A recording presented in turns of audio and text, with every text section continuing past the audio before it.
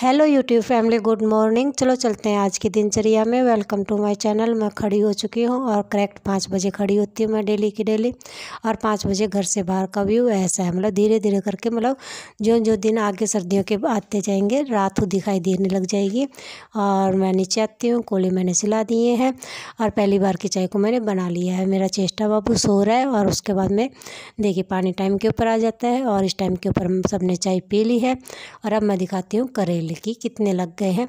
मतलब उस टाइम पर जो तोड़े थे, वो उसकी सब्ज़ी घर पर नहीं बनी है।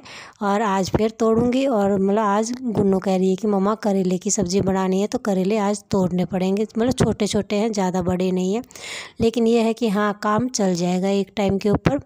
मतलब एक दिन का काम चल जाएगा तो इसलिए आज करेले तोड़ दूँगी मैं दिन के अंदर, जब भी टाइम लगेगा। फिर लग जाती हूँ मैं अपनी सफ़ाई के अंदर मतलब बाहर से सफ़ाई करनी शुरू कर दी है। मेन गेट के आगे पानी डालना मतलब मेन गेट के आगे मैं डायरेक्ट पानी डालती हूँ मतलब दो या ढाई बाल्टी डालती हैं जितनी भी, और उसके अंदर पूरा साफ़ हो जाता है। मतलब कभी दो में भी हो जाता है, कभी मतलब आधी और डल जाती है, बस इतने में ही साफ़ हो जाता है, ज़्यादा नहीं डलता है। और उसके बाद में बिल्ली का बच्चा मतलब आज अभी तक नहीं दिखाई दिया है। एक बार वो बस घर से बाहर जाता हुआ दिखता है, उसके बाद में नहीं दिखता है। देखते हैं वो कितनी देर में आता है। हाँ कल था, इस टाइम के ऊपर आज नहीं है। चेष्टा और गुन्नू, दोनों के दोनों सो रहे हैं क्योंकि गुन्नू की आज छुट्टी है। जो सब्जेक्ट गुन्नू ले ले रखे हैं, उनके पेपर ख़त्म हो गए हैं और जो एक्स्ट्रा सब्जेक्ट हैं, उनके पेपर चल रहे हैं। मतलब जो गुन्नू के पास में नहीं है। हाँ सब सब्जेक्ट के जब पेपर ख़त्म हो जाएँगे, तभी मतलब स्कूल क्लासेज लगनी शुरू होंगी, तब तक गुन्नू की छुट्टी चल रही है। और देखिए, मेरी सफ़ाई मतलब मेन गेट के आगे से ख़त्म हो गई है और इस टाइम के ऊपर मैं नहा चुकी हूँ और मतलब आज मैं नहा पहले ली हूँ। सफ़ाई मैंने कहीं पर भी शुरुआत नहीं की है, न ऊपर की है, न नीचे की है, क्योंकि ठंडा मौसम था। तो मतलब मेरे को पानी ठंडा लग रहा था तो ताज़ा पानी जो जो आ रहा था, उसी ताज़ा पानी से मैं नहा लिया आज पहले।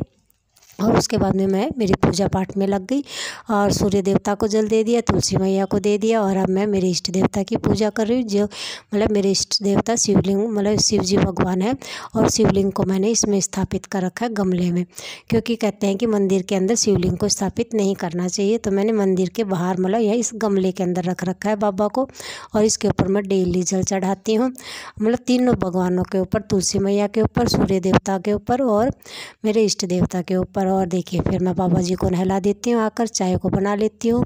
चेष्टा बाबू चाय पी रहा है, मैं चाय पी मतलब सबने चाय पी ली है। उसके बाद में मैं और गुन्नू के पापा जाते हैं लौकी तोड़ने के लिए और आज हम तोड़ कर लेकर आते हैं पाँच लौकी, जिनमें से सिर्फ़ घर पर सिर्फ़ एक रहती है और बाकी सारी की सारी दे देते हैं। मतलब इसके अंदर दो दिख रही हैं, तीन पहले दे दी हैं, इसलिए दो दिख रही है। इनमें से भी चेष्टा बाबू एक लेकर चला जाता है, क्योंकि एक मतलब चेष्टा बाबू के अपने हाथ में देखी होगी, थैली ले रखी है और तो वो राहुल जी को देने के लिए चली जाती है।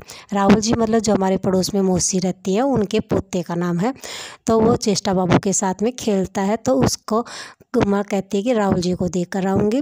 तो चेष्टा बाबू ले जाती है, गौ माता आ जाती है। इस टाइम के ऊपर गौ माता को जो कल वाली जो रोटियाँ थी, वो रोटी दे देती है। मतलब आज वाली नहीं दी है, अभी नहीं बनाया है खाना। और देखिए, अब मैं लग गई हूँ सीढ़ियों में सफ़ाई करते हुए, नीचे जाऊँगी। अभी ऊपर की मैंने नहीं की है। मैं कह दूँ कि कर दी, मैंने नहीं की है। सीढ़ियों में इसलिए लगा रही हूँ क्योंकि धूप बहुत तेज़ आ जाती है। तो सीढ़ियों में इस लगाते हुए मैं आगे निकल जाऊँगी और छत की करूँगी, तब तो बहुत ज़्यादा तेज़ आ जाएगी। लेकिन छत की सफ़ाई आज करूँगी, क्योंकि कल मैंने नहीं की थी। कल मैंने मशीन चलाई थी, बहुत ज़्यादा कपड़े धोए थे तो मैंने कल सफ़ाई नहीं की, बहुत ज़्यादा लेट हो गई थी। चेष्टा बाबू ने आज बैग ले रखा है, नया, जो कि गुन्नों का है, बचपन का। तो चेष्टा बाबू को ये बैग पसंद आ गया तो इसने बैग में से निकलवा लिया। एक दिन पहले भी निकलवाया था, और आज भी निकलवा लिया। मतलब इसके ऊपर डोल बनी हुई है, जिसके हाथ और पैर दोनों के दोनों हैं। फिर मैं लग जाती हूँ अपनी सफ़ाई मतलब नीचे झाड़ू लगाने के लिए मतलब खाना अभी भी नहीं बनाया है मैंने। हाँ मतलब आटे को लगा कर रख रखा है मतलब गूँथ कर रख रखा है, बाद में बनाऊँगी। और देखिए, मैं यहाँ पर झाड़ू लगा रही हूँ, चेष्टा बाबू यहीं पर चक्कर काट रहा है बैग को लेकर। और उसके बाद में मेरे को बिल्ली का बच्चा अब नज़र आया है, क्योंकि वो गुन्नू के साथ में मस्ती कर रहा है मतलब वो अंदर है। मतलब उसको खेलना अच्छा लगता है, लेकिन मतलब गुन्नू के साथ में और चेष्टा बाबू के साथ में ज़्यादा खेलता है। मेरे साथ में तो सिर्फ़ उसको खाना भूख लगती तब भी आता देखिए, मैं आपको दिखाती हूँ वो क्या कर रहा है। वो गुन्नू के साथ में है। देखिए, चेयर के ऊपर बैठी हुई है तो गुन्नू से कह रहा है कि आजा खेल लेंगे। गुन्नू अपनी पढ़ाई कर रही है, चेष्टा बाबू खेल रहा था। तो यहाँ पर देखिए, कह रहा है कि पढ़ मतलब पढ़ मत, मेरे साथ में खेल ले। मतलब ऐसे करके फिर गुन्नू की चेयर के नीचे बैठ जाता है वो। मतलब काफ़ी देर तक वो मस्ती करते रहते कभी नो, नोटबुक के साथ में, कभी वैसे मतलब खेलता रहता है। मतलब ये अच्छा लगता है। मतलब इस बिल्ली के यही एक बच्चा है जो कि बहुत ज़्यादा खेलता है। मतलब इतनी बार चेष्टा बाबू के पैदा होने के बाद में भी ये शायद चौथी बार इसने बच्चे दिए हैं। लेकिन यही बच्चा जो कि खेलता है और अब फिर वो प्रेग्नेंट नज़र आ रही है और उसने इसके साथ में खेलना, खाना, पीना सब कुछ छोड़ दिया है। देखिए मतलब ऐसे करके अच्छा लगता है, बहुत प्यारा लगता है। इसका नाम हमने चिम्मू रख रखा है और ये नाम चेष्टा बाबू ने निकाला है। लेकिन अब इसको सब चिम्मू कहने लग गए हैं। और देखिए, गुन्नू के साथ में भी ये कह रहा है कि नोटबुक मेरे को दे दे, मेरे को ही खेलना है इसके साथ में। और फिर काफ़ी देर तक खेलते रहते हैं गुन्नू के साथ में। और चेष्टा बाबू अब आता है, क्योंकि वो उस साइड में था, बैग को लेकर घूम रहा था। तो ये मतलब मैं इस साइड में आ गई थी तो वो देखती कि माँ, मम्मी कहाँ पर गई तो आ जाता देखिए, बैग को अब भी ले रखा है इसने, इसके ऊपर छोटी सी डोल बनी हुई है, जिसकी आँखें भी मतलब सुलाओगे, बैग को तो सो जाती हैं। खड़ा करोगे तो खड़ी मतलब खुल जाती हैं, ऐसे वाली आँखें हैं इसकी। और देखिए, काफ़ी देर तक खेलते रहते हैं, फिर मैं अपनी सफ़ाई करने लग। जाती हूँ वापस और देखिए मेरी सफ़ाई हो गई है कंप्लीट। मतलब नीचे की, ऊपर की नहीं हुई है। अभी नीचे नीचे की कंप्लीट हुई है। अब मैं बनाऊँगी खाना। और खाना बनाने के बाद में, के बाद में मैंने की ऊपर की सफ़ाई। मतलब जो अब मैं आपको दिखा रही हूँ, ये मैं ऊपर की सफ़ाई करने के बाद का दिखा रही हूँ।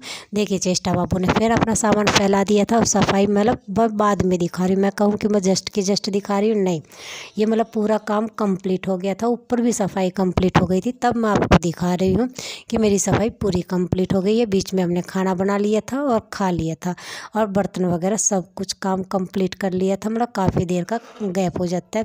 और अब मैं दिखा रही हूँ आपको ऊपर की मतलब ऊपर की सफ़ाई करने के बाद में फिर मैं आपको सारी की सारी सफ़ाई दिखा रही हूँ। देखिए, ऊपर गिल्ला है, नीचे सूखा है तो मतलब नीचे काफ़ी देर हो गई थी सफ़ाई किए हुए। और चेष्टा बाबू नहाने के लिए यहाँ के ऊपर, पहले तो नीचे बैठा हुआ था, फिर यहाँ पर। फिर उस चेष्टा बाबू को मैं ऊपर ही नहला देती हूँ। चेष्टा बाबू ने घूंघट कर रखा है। कह रही है कि दादाजी आ गए मतलब मैं कोई भी मतलब बड़े ससुर वगैरह आ जाते हैं तो घूंघट करते हैं तो ये कह रही है कि हाँ दादाजी आ गए तो घूंघट करके घूम रही है। ये वो सूट की चुन्नी है जो कि मैं अब नया कल काटा था उसकी।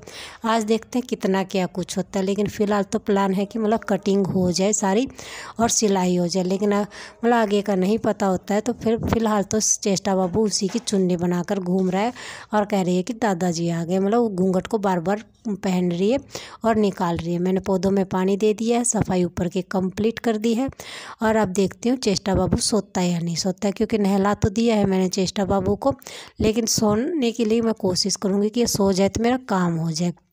और गौ माता जी अपने चल रही हैं और देखिए बेल भी मतलब इस साइड मोड़ दी थी तो भी छत के ऊपर चल रही है, नीचे नहीं चल रही, छत के ऊपर ही चढ़ने लग गई है।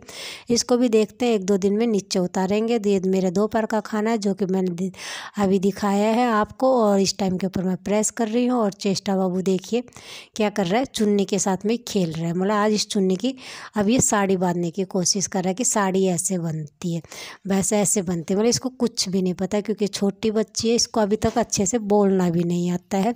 इतने सारे कपड़ों के फिर मैंने प्रेस कर दी, जो कि कल धोए थे। मतलब पहनने के तो इतने ही थे, तीन दिन के, लेकिन हाँ बड़े कपड़े ज़्यादा थे तो उनको कल मैंने बिछा दिया था। ये मेरी शाम की चाय है, जो बाबा जी को दे दी है।